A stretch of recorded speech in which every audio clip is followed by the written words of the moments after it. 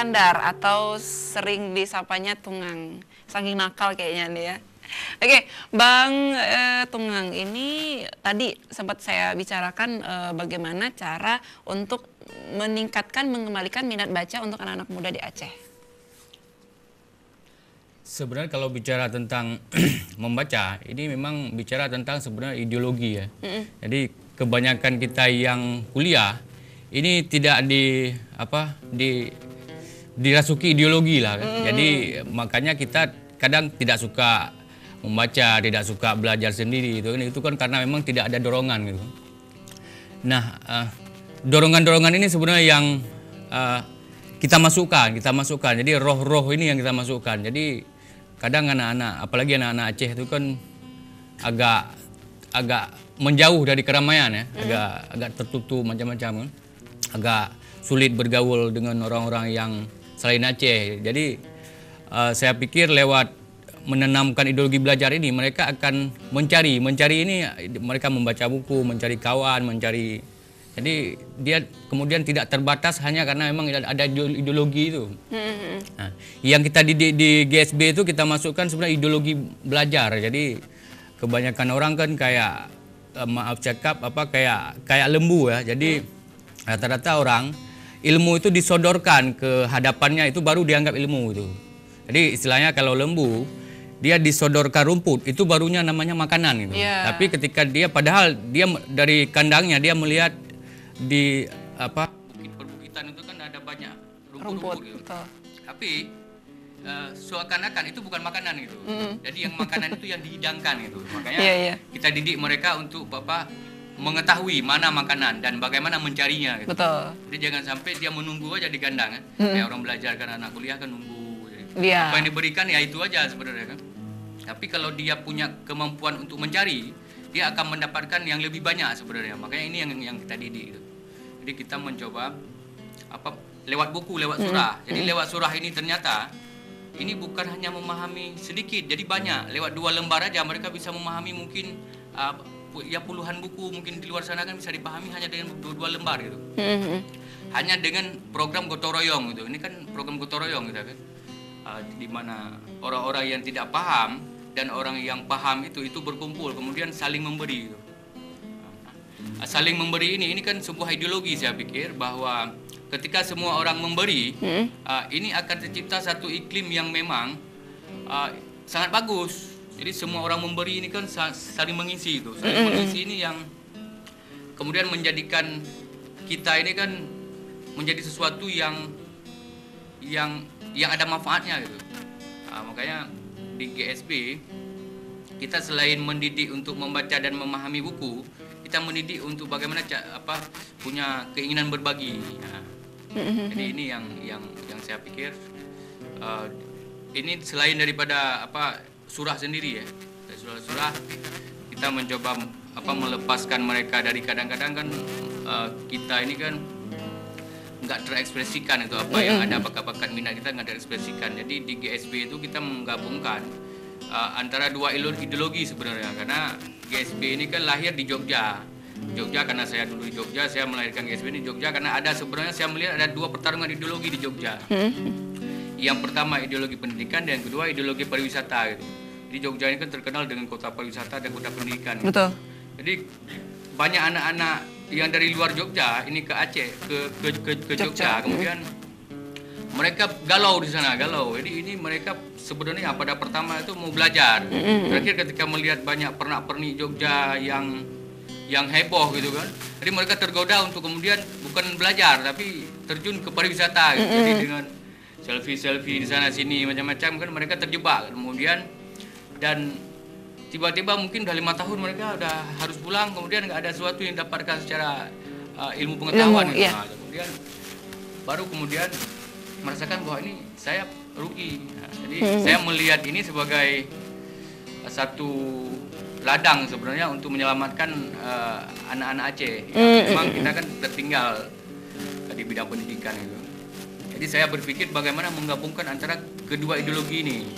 Makanya saya menciptakan uh, formula satu kelas yang memang mereka bisa berwisata di situ, bisa belajar di situ dan ketawa ke TV macam-macam lah kan. Jadi saya hanya berpikir tentang itu aja yang saya pikir adalah bagaimana memasukkan ideologi ke dalam diri mereka. Jadi ketika itu sudah selesai mereka bebas berekspresi itu macam-macam itu kan bebas mereka kan. Dan saya pikir juga uh, nilai-nilai yang yang tentang keacehan tentang nilai-nilai di Indonesia ini kan kita masukkan pelan-pelan lewat lewat surah karena surah ini kan dekat sebenarnya dengan ketika meng, meng- meng- apa, mendengar surah itu langsung kita teringat masa surah kitab gitu di Aceh kan. Di Aceh kan kita ada budaya surah kitab. Sebenarnya uh, budaya ini yang saya ambil gitu. Jadi surah ini dari surah kitab itu saya, hanya saya pindahkan ke buku sebenarnya. Karena banyak kitab-kitab itu yang kita belajar tradisional kan surah gitu. surah. Tapi kemudian buku kok nggak disurah gitu. Kok nggak disurah? Uh, padahal buku sebenarnya ada banyak buku yang perlu sebenarnya dikritisi. Malah kadang buku-buku ada banyak yang salah gitu. Kalau kita nggak model uh, memahami dan menyurah, itu kemudian kita banyak hoak juga dari buku ternyata. Hmm, mm, mm, mm. Nah, jadi eh, saya pengen protes nih sama Bang Tunggang. Kenapa Tunggang ini udah ber- baru berapa lama? Sudah berapa lama maksudnya? Eh, gerakan surah buku ini? Hampir dua tahun lah. Dua tahun. Saya pengen protes kenapa baru dua tahun? Kenapa nggak saat saya kecil ya, di saat kondisi perekonomian yang masih yang tidak menentu, saya sering eh, nyelinap masuk ke toko-toko buku hanya untuk ingin membaca, tapi saya diusir. Jadi ini ini yang yang yang bikin miris di mana minat baca anak-anak makin tipis tipis tipis karena memang tidak ada dukungan juga dari masyarakat ya lingkungan juga yang kurang eh, memahami apa yang anak-anak ini cari. Nah eh, untuk anggotanya di Aceh ini belum banyak ya bang ya? Oke di Jawa. di Jawa Eh, sudah berapa banyak buku yang kalian kupas? Lebih kurang mungkin ada sekitar 8-8 buku lah. 8 buku selama 2 tahun Selama ini. dua tahun. yang paling eh, favorit ada dong sebuah buku, sebuah tulisan yang mungkin ini nggak bisa dilupain dan ini saya suka sekali. Cerita sedikit. Sebenarnya buku yang paling lama di surah itu buku Tan Malaka gitu, buku Madilog gitu. Mhm. Buku Madilog itu yang memang agak berat. Jadi selama setahun kita surah buku Madilog aja. Menceritakan tentang apa isi? Itu ada ada ma- materialisme di situ, logika kan. Jadi di dalamnya ada banyak ternyata yang kita bahas. Situ kan karena ketika kita bahas materialisme, dialektika, logika itu kan ada banyak itu kan, di dalamnya itu. Ada, kita bahas filsafat juga dan dan itu yang menurut saya paling berkesan karena memang saya dipres untuk berpikir bagaimana agar eh, anak-anak GSB ini memahami gitu, benar-benar memahami secara komprehensif gitu. Jadi saya baga- bagaimana harus berpikir bagaimana harus mencari orang-orang yang memang memahami buku ini gitu. Ya anak-anak filsafat kawan-kawan saya saya saya ajak, saya ajak tuh. Karena memang di gerakan surah ini konsepnya memang tidak ada pemateri tunggal. Jadi semua itu pemateri gitu. Oke, boleh dong pesan yang ingin eh, eh, mungkin ada anak muda yang ingin juga gabung sama gerakan surah buku bersama kalian. Eh, anak-anak muda yang kebanyakan di kedai kopi. Kenal lagi deh. sebenarnya eh, kedai kopi sebenarnya tempat belajar yang paling asik sebenarnya tempat belajar yang paling eh, Nyaman ya. yang paling nyaman Betul, sebenarnya. Tapi, setuju. eh, tinggal eh, kita isi aja dengan apa budaya-budaya eh, tradisional kita, budaya-budaya yang bisa dibilang bukan tradisional, ya, memang, udah canggih budaya karena budaya memahami buku ini kan orang-orang luar mungkin tidak hanya membaca juga kan, memahami secara komprehensif lewat metode surah. Nah, eh, untuk anak-anak muda yang ingin bergabung mungkin kalau berada di Banda Aceh kita akan eh, segera bikin mungkin satu kelas yang khusus untuk eh, ma- ma- masyarakat Aceh lah di Banda Aceh. Mhm. Nah, Boleh mungkin aja. follow follow Instagramnya di Ya mana? follow Instagramnya, Instagram eh, Gerakan Surah Buku. Eh, At itu aja. Gerakan Surah Gerakan Buku. Oke, saya jumpa dengan beliau juga di Instagram juga ya. Oke, eh, mungkin nanti ke depan juga ada adakah program khusus untuk mengajar anak-anak Aceh yang tidak bisa membaca?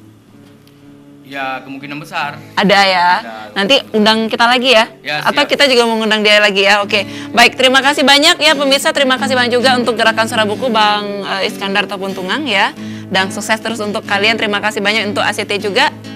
Dan saya Gustiada pamit. Assalamualaikum warahmatullahi wabarakatuh.